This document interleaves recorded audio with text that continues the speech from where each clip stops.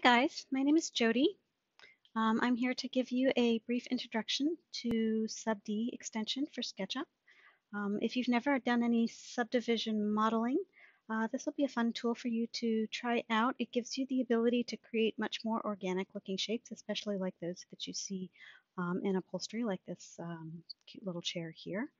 Um, so I'm just going to jump right into it and um, tell you a little bit about how this extension works. Just uh, it's it can be very involved, but um, most of the tools, as you can see, are fairly simple. So it's really just a matter of uh, practice. So um, I'm going to start out by um, just explaining how it works. Basically, what subdivision, what SubD does, is it takes um, three lines and it uh, averages the distance between those lines. So as you can see, I've got this little um, sort of three-planed little chair here. And um, what SubD is going to do is it's going to take this bottom line, this middle line, and this um, back line over here, and it's going to average the distance between them and create a curve out of them by dividing the geometry. So um, everything that SubD does has to be within a group, so your um, geometry always has to be grouped. And basically what you do is you group your geometry like this, and then you hit the very first button here, which is a toggle button. So you toggle subdivision on, and what you'll see is it's created sort of um, a rough sort of curve here. And if you show your hidden geometry, you'll see that it's gone from being three individual planes to now being, um, I guess it's uh, 12 different planes.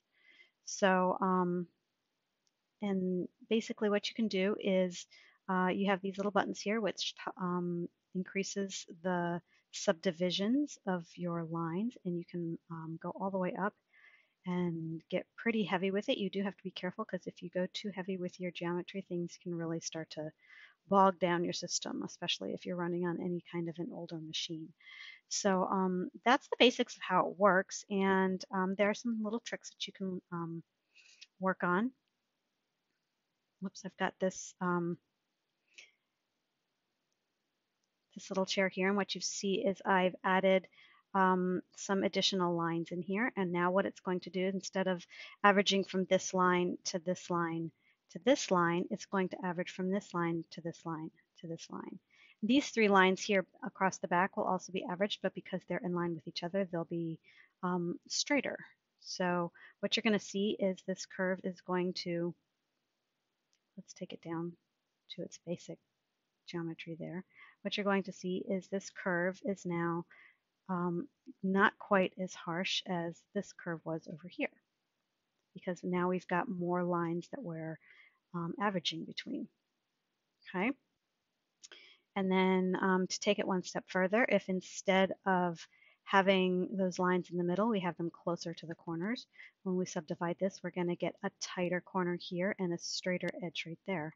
And as you can see on this one over here, where I've moved these lines um, even closer, you can see that these are really close to the corner and not quite as close as those. You'll see that, um, let's drop it down again here. You'll see that these lines are averaged a lot closer than these lines, so your curve gets tighter. So that's the basics of how it works. You can obviously do this with um, solid geometry as well.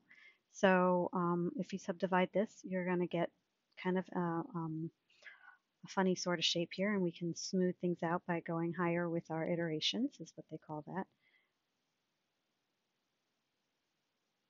And then we make adjustments to it by um, adding in more lines to change the way the, ge the geometry is averaging.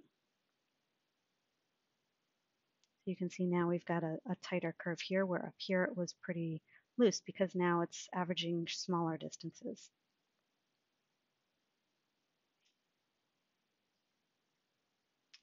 So that's the basics. Um, we're going to get farther into this maybe in some of our other Tidbit Tuesdays. Um, but if you like the ideas here, if you think this is something that might be useful with your modeling, definitely um, you can uh, reach out to me. My email address is jodi at jbartistry.com design.com. Um, I'll put a link to the SubD extension in the Sketchucation warehouse and um, also to my tutoring sessions. So um, have a great day, guys. Thanks.